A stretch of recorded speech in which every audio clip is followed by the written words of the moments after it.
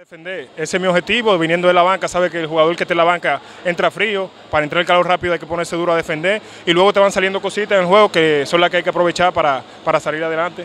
En un momento los, el conjunto de los soles apretó en la ofensiva y ustedes bajaron la defensa. ¿Qué le dijo el dirigente David Díaz en ese momento donde ustedes estaban eh, desca descayendo en, en, lo que es la defensa? Eh, él tenía mucha confianza eh, porque son un partido que cuando tú inicias muy, muy, muy arriba, ¿sabes? Suele pasar que en un momento dado del partido tiene que bajar y el otro equipo subir, pero él se, él se mantuvo firme, él creía en lo que nos ponía a nosotros y yo creo que eso nos dio la victoria. Ustedes, tú como jugador, entiendes que ustedes están haciendo el trabajo que el dirigente le, le, les manda, están haciendo las cosas del lugar para así tener este 4 y 0 en este momento.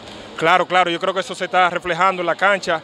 Este, yo creo en el equipo que tenemos, es un equipo, hacía años que yo no estaba un equipo tan, como, tan completo como este y la armonía que tenemos cada quien, no importa si jugamos, si no jugamos, lo importante es sacar la victoria y llegar hasta la final y quedarnos con la victoria y el campeonato. Ustedes tienen jugadores altos que hacen un buen trabajo ofensivo, pero a nivel defensivo también están haciendo lo que se les manda. Tú como jugador del rol de la banca, entiendes que la defensa debe de seguir ajustando para, para no decaer como el, lo sucedió en el día de hoy?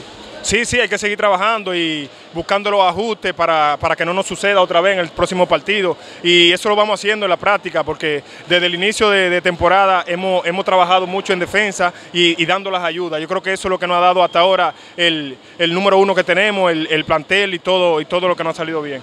Luego de este 4 y 0, un mensaje de Giancarlo Acosta para toda la fanaticada de los Leones. Bueno, que nos sigan apoyando, que crean el equipo, en la química que tenemos y en nuestro dirigente. Yo creo que vamos a hacer la final y allá nos veremos.